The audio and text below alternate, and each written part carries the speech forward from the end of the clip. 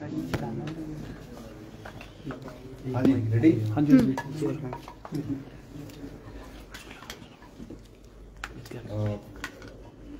Ma'am दो दिन बैठकें हुई हैं कांग्रेस मुख्यालय में। क्या इन बैठकों से निकला है और क्या कुछ हुआ है इन बैठकों में? ठीक है that is a internal matter and we have to see how अब इलेक्शन को फेस करना है। तो सभी को जिन जिन को जिम्मेवारियाँ देनी है जिनको कार्यभार संभालना है उसके बारे में हमने चर्चा की और शुक्ला जी को कॉन्फिडेंस में लेकर फिर उन्होंने ही निर्देश करने थे उन्होंने आदेश देने थे कि क्या करना चाहिए।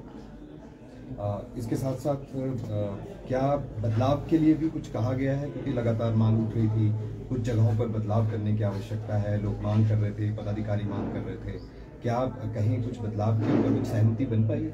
हाँ उसमें जो हमने एक लिस्ट दी थी वो उन्होंने अप्रूव की है। और जहाँ लोगों की मांग है डिमांड है वहाँ बदलाव भी किया जाए।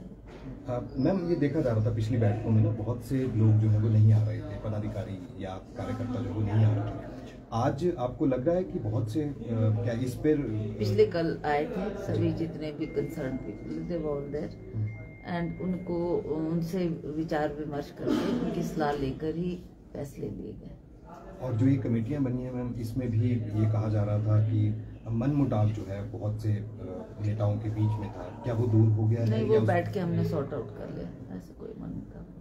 मैम सिरमौर में नेताओं के बीच जो लड़ाई हुई है क्या कार्रवाई की तैयारी कर रही है हिमाचल कांग्रेस उन नेताओं ठीक है हमने उसकी रिपोर्ट मंगाई है। जो उसकी रिपोर्ट आई है उसके आधार पर फिर एक्शन लिया जाएगा।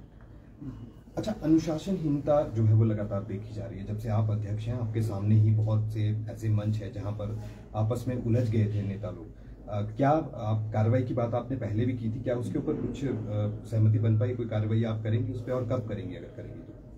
अब जैसे ये सिरमौर की बात ही थी, अभी दोबारा ये हादसा हो गया और उस पर भी हमने अभी किया है रिपोर्ट। हमारे वर्किंग प्रेसिडेंट हर्ष महाजन जी है वहाँ पर।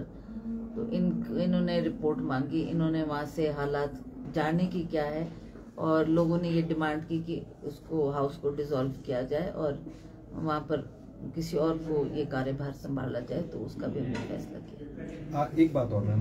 मुख्यमंत्री जयराम ठाकुर जो है वो कह रहे हैं कि कांग्रेस के नेताओं को ज़ुबान पर लगाम लगानी चाहिए। शब्दावली जो है वो ठीक नहीं कहते। इस पर आपका क्या रिएक्शन किसकी शब्दावली सुन ली उन्होंने? क्या कह दिया? किसने कहा? That also I must know ना? How can I comment on it वैसे वो मुकेश जी के लिए भी कह रहे हैं तो that you ask him I can't comment on that was what he said and what when he said और क्या शब्द उन्होंने प्रयोग किया, मुझे नहीं उसकी जानकारी। इसलिए मैं ज़्यादा कुछ नहीं